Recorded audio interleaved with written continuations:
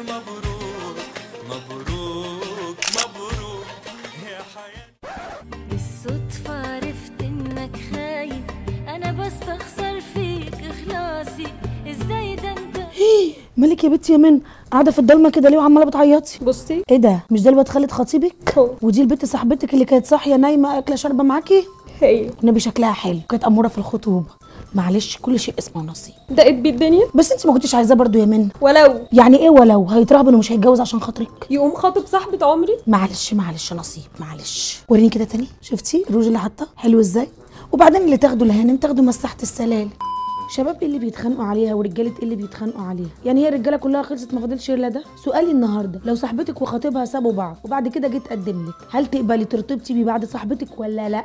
وقبل ما تجاوبي استني لو حصل معاكي انت الموقف ده وخطيبك القديم اللي سبتوا بعض راح هو تقدم لصاحبتك.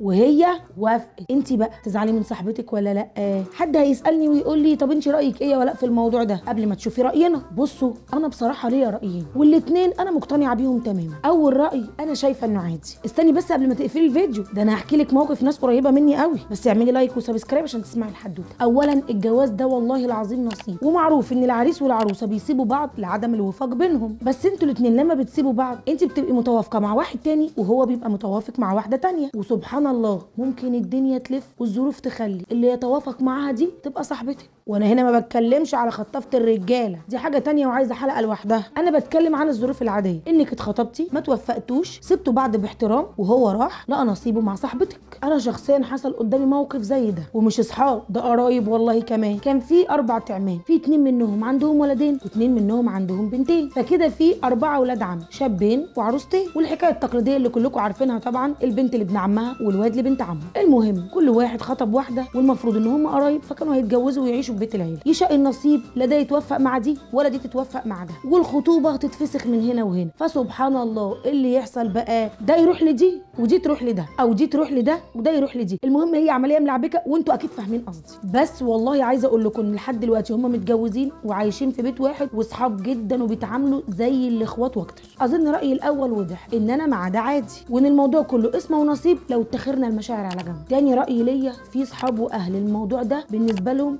خيانه وبيبقوا حاطينه تحت بند العيب والأصول وده صح برضه وده رأيي وأنا مقتنعة بيه. هم اتربوا على كده ومش هيقدروا يشوفوا غير كده. إن ده لو كان خطيب صاحبتي يبقى متحرم عليا مع إنه عادي إحنا مش هنحرم اللي حلله ربنا. بس أنا فاهمة هم قصدهم إيه. لأن المخطوبين اليومين دول بيتكلموا مع بعض كتير الدنيا مش مقفلة زي زمان. ودلوقتي كل واحد معاه موبايل فبيقعدوا يتكلموا بال 24 ساعة فبيبقوا عارفين عن بعض تفاصيل أهلهم نفسها ما يعرفوهاش. فهتبقى البنت اللي خطيب صاحبتها جه ارتبط بيها دايما كل كلمة بيقولها لها بتفكر فيها وهتفضل تقول لنفسها ده الكلام ده كان بيقوله لصاحبتي قبل كده وهتفضل هي اللي تعبانة من كتر التفكير ومش هتعرف تكمل معاه. وطبعا في بنات مطرياها ما بتحطش الكلام ده في دماغها خالص. وأنا كده مش بغلطهم لأنهم كده مريحين دماغهم. لا بغلط دول ولا بغلط دول لأن كل واحد ليه طبع وليه طريقة في التفكير. وزي ما قلت في نص كلامي إحنا مش هنحرم اللي ربنا حلله لأن أنتوا لا إخوات ولا راضعين على بعض ولا هو متحرم عليكي في أي حاجة. عادي لو في وفاق بينكم ارتبطي بيه. طول ما نفسيتك تمام وهتقدري تتحكمي في مشاعرك ومش هتزعلي صاحبتك منك وهتبقى صاحبتك مقدرة وفاهمة؟ ما فيهاش حاجة لما ترتبطي بيه وانت لو خطيبك سابك وراح ارتبط بصاحبتك عادي انت كمان وجعلي الأمور عادية. أنا ما توفقتش معاه ممكن صاحبتي تتوفق معاه. إلا في حالة واحدة لو هو بني آدم وحش. كده صاحبتك هيبقى ليها عندك حق النصيحة. والمرة واحدة بس. عشان ما تفتكرش إن انت غيرانة إن هو هيخطبها. وسيبيها بقى هي براحتها. ده في عائلات في الصعيد وفي الصعيد ليه؟ ده في كل مكان أنا شفت كده. لما يبقى في أخين وفي واحد فيهم لا قدر الله توفى بيبقى التاني ملزم إنه يتجوز مرات أخوه. أنتوا فاهمين الموضوع لدرجة إيه؟ لأن في حاجة اسمها تحريم مؤقت. يعني مرات أخويا متحرمة عليا لغاية ما أخويا يطلقها. ساعتها ممكن أنا أرتبط بيها عادي. وقبل ما حد يهاجمني ده مش كلامي ده كلام الدين. أنا مش بقول إن ده نعمله. كل واحد على حسب مقدرته ونفسيته. وبعدين أنتوا ما شفتوش مسلسل الحياة والسراب والأسطورة؟ لما فيفي عبده حكمت على أحمد زاهر يتجوز سمية الخشاب وقال إيه عاشوا مع بعض إخوات علشان بس يرضوا الست الحاجة. ومحمد رمضان اتجوز روجينا بعد محمد رمضان. فيا جماعة في الأول وفي الآخر الجواز ده نصيب. ده الرز اتهرى من كتر التنقية في إيدي. عادة أنا متعودة عليها من وأنا صغيرة. حتى لو الرز نضيف وزي الإزاز لازم أنقيه. اعملوا بقى like و subscribe للقناة ورايا على المطبخ علشان النهارده الأكل قرداحي كشري. أما نشوف بقى كشري ام مازن ولا كشري ابو طارق قلت أما أعمل شوية كشري لعمرو والعيال اهم بيحبوه. وهو برده تغيير كل يوم لحمه وفراخ. والله يلا الحمد لله. فقلنا نعمل شوية كشري. ومازن بيحب الكشري قوي كمان. فما زعلوش واعمل له كنت سالتكم على الفيسبوك وعلى يوتيوب على نفس السؤال. تعملي إيه لو خطيبك سابك وراح ارتبط بصاحبتك؟ أو أنتوا سبتوا بعض يعني عادي؟ ما حصلش نصيب. تعالوا بقى أقرأ معاكم الكومنتات ونشوف. هلا بتقول لي لو خطيب صاحبتي وتقدم لي بصراحة مش عارفة هوافق ولا لأ. لأني ما اتحطيتش في الموقف ده. بس في الغالب هرفض ومش هوافق. بس ده بناء على شخصيتي أنا. إنما العكس بقى لو خطيبي شخص مناسب لصاحبتي هشجعها وأنا اللي هقف له بصي انت جبتي الخلاصة. انت جدعة. عشان انت فعلا لما هتتحطي في الموقف يا عالم هتوافقي ولا لأ؟ لأنه ممكن يبقى إنسان كويس بس ما ناسبش صاحبتك زي ما قلت. ممكن يكون هو إنسان كويس ما ناسبكيش بس هيناسب صاحبتك. وجدع إن لو سابك وراح لصاحبتك هتقفي لهم أحييكي على الروح الرياضية. أمنية بقى رافضة تماما. بس بتقول إن عندها مبدا وأصول اتربت عليها احتراما لمشاعرها. قصدها يعني لو خطيب صاحبتها جه تقدم لها. حلو برضو إن إحنا نفكر في غيرنا وما نبقاش طول الوقت أنانيين ونبص على مصلحتنا وبس. أم عمر بتقول البومة لو كان فيها خير ما يتركها الصياد. خليتي العريس بومة يا أم عمر. فكرتيني بالأغنية اللي في فيلم نجيب الريحاني بطلوده واسمعوده الغراب جوزوه أحلى يا ماما. إيه الكلام الفارغ ده دنيا بتقول هي يعني الرجالة خلصت من الدنيا؟ والله عندك حق. يعني خلاص دقت بيك الدنيا خلاص. مفيش غير الراجل ده. منال بتقول منال راحت في حتة تانية خالص. بتقول أمال هي فين الصحوبية بقى؟ صاحبتي يعني سري يعني أماني. فين بقى الصحبة والأمان لما أخد حبيبها وهي تاخد حبيبي؟ هنا بقى اللي بقول لكم عليه. ما ينفعش واحدة تبقى مش هتقدر إن هي تاخد خطيب صاحبتها هتفضل دماغها تلعب بيها. ده كان بيقول لها كده زي ما بيقول ما ينفعش تختار خطيب صاحبتها.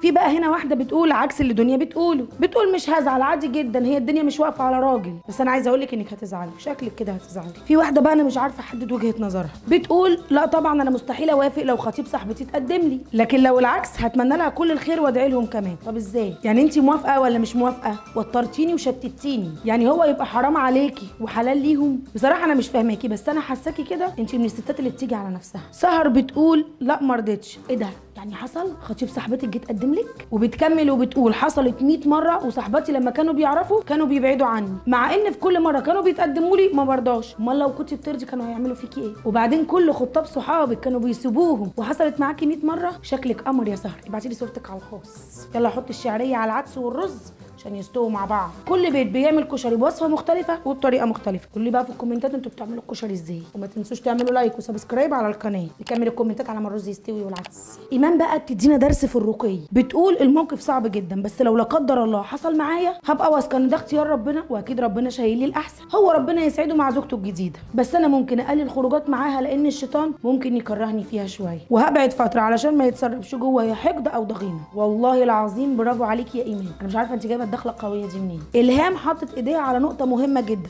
ركزوا معايا. بتقول اولا أنا متجوزة بس رأيي لأ. علشان هما كانوا متفقين في وقت من الأوقات. وكل واحد شاف في التاني حاجة عجبته. ولما ياخد صاحبتها هتفضل الحاجة الحلوة دي في باله كل ما تيجي سيرتها. والتانية مهما كان ثقتها في نفسها برضه مش هتبطل وش. وكل مرة هيقابلوهم حتى لو صدفة هتقوم مشكلة بينهم. ده اللي أنا قلته إن في بنات مش هتستحمل. كل حاجة هتفتكر الماضي فهتقوم مشكلة فمش هيعرفوا يكملوا. يبقى نبعد النار عن البنزين لو إحنا مش هنقدر نتحمل. يا إما نكبر دماغنا ونعقل كده. بس في ناس كتير في الكومنتات بتقول لو اتعرض عليا مش هوافق. بس لو العكس مش هزعل لأن ده نصيب. طب إزاي؟ ما هو زي ما ليكي زي ما عليكي لميس بقى بتقول أنا الباب اللي بقفله مش ببص فيه تاني. وبعدين دي صاحبتي مشكلتي لو أختي. استني يا لميس هجيب حلة الصلصة وراجع لك.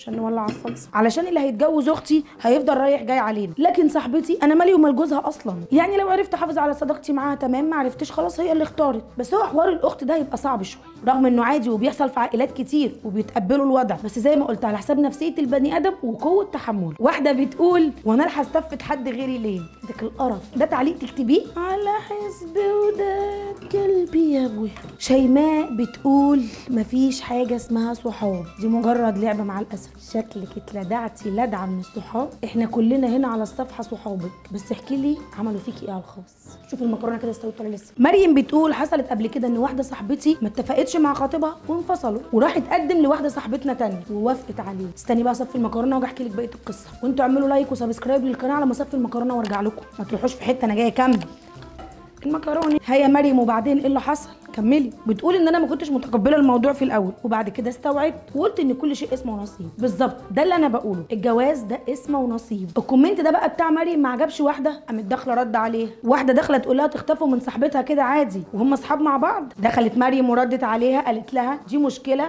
لو خطفته من صاحبتها لكن كده كده هم ما كانوش متفقين. وهي ما كانتش سبب في انفصالهم خالص. يعني هي ملهاش ذنب. وهنا بقى يفتح لي نقطة ثالثه خالص الصحاب اللي ربنا يكفينا شرهم. تلاقي البنت من دول أول ما تتخانقي مع خطيبك تقعد تسخنك وتقعد تسخنك على أي مشكلة ما بينكم وتعمل من الحبه قبة. وهي بيبقى هدفها حاجات تانية مش تسخنك بس. خليكي انت بقى ناصحة وما تسخنيش على خطيبك على كلام حد. وفي بقى الصاحبة محضر الخير. تقول لك ابعتي لي رقمه عشان أصالحكم. وتفضل طول الليل بترغي معاه في التليفون بحجة إنها بتصالحكم. وتصالحكم فعلا. بس بعد فترة سبحان الله بتلاقي النصيب راح لها. أرزاق. في واحدة ضحكتني قوي بتقولي لو خطيبها مز وحلو هفكر في الموضوع. وفي الحالة التانية مش هزعل هقطع علاقتي بيهم هما الاثنين يا أنانية. في واحد داخل في الكومنتات معرفش داخل ليه الموضوع ما يخصوش. بس يا عيني فاقد الشغف بيقول هي مين الغبية اللي تتجوز أصلا؟ خلاصة الكلام الجواز اسمه ونصيب ما تبقيش خطافه رجالة. بس انت بقى خليكي أمينة وبلاش جو الحربقه أصل جت صدفة وانت عينك من الواد من يوم ما قرا فاتحه على صاحبتك. ده انت كنتي باصة في الكاميرا يوم الفاتحه بتعملي زوم عليه هو. الكشري خلص يلا بقى حاول أغرفه زي بتوع المحلات كده. حاول أعمل مكرونة زيهم.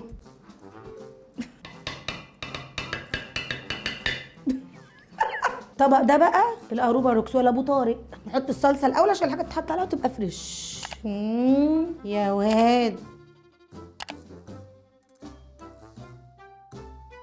ننزل بالحمص.